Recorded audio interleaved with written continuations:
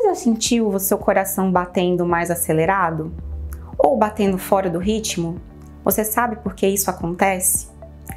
Hoje a gente vai ter mais um vídeo da nossa websérie de cardiologia do Hospital Encore e o tema de hoje é palpitação.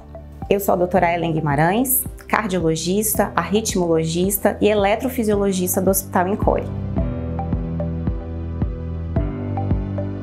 Nosso coração bate em torno de 100 mil vezes por dia. Esse coração, que é uma máquina perfeita, deve fazer isso silenciosamente. Quando a gente tem a percepção dos batimentos cardíacos, é o que chamamos de palpitações. As palpitações podem ter de origens completamente benignas a doenças que precisam ser avaliadas e tratadas. Um exemplo: se o seu coração acelera no esforço, é normal. Se seu coração acelera durante sustos, aborrecimentos, estresse, também pode ser de origem não cardíaca. Agora, em algumas situações, doenças cardíacas como arritmias graves, potencialmente fatais, infarto, pressão alta podem gerar também palpitações. Como saber se essas palpitações são normais ou não? Não vou te dizer que é fácil, você vai ter que procurar o cardiologista. Alguns sintomas podem estar associados a palpitações, como falta de ar, dor no peito, suor frio, tontura e desmaios.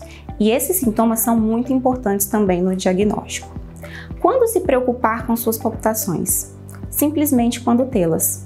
Procure sempre o seu médico para poder fazer uma avaliação adequada. No Hospital Encore, nós temos um serviço especializado para sua avaliação.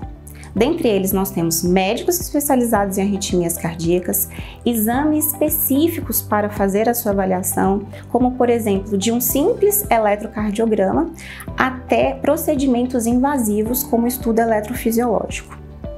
Se você gostou desse conteúdo, curta e compartilhe esse vídeo para outras pessoas. Quem sabe você pode ajudar alguma pessoa a cuidar do seu problema.